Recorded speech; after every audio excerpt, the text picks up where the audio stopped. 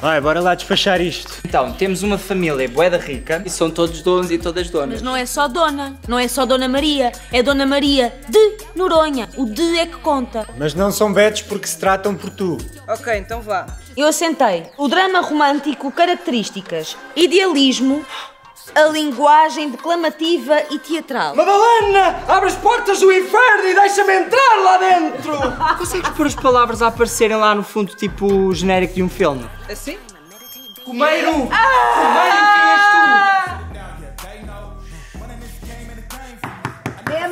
Diz aqui que o Almeida Garrett se inspirou na vida do Frei Luís de Souza para escrever esta peça. Então o Frei Luís de Souza existiu mesmo? A senhora não falou disso na aula? Esta peça é baseada em factos verídicos. Qualquer semelhança com a realidade não é pura coincidência. Tum, tum.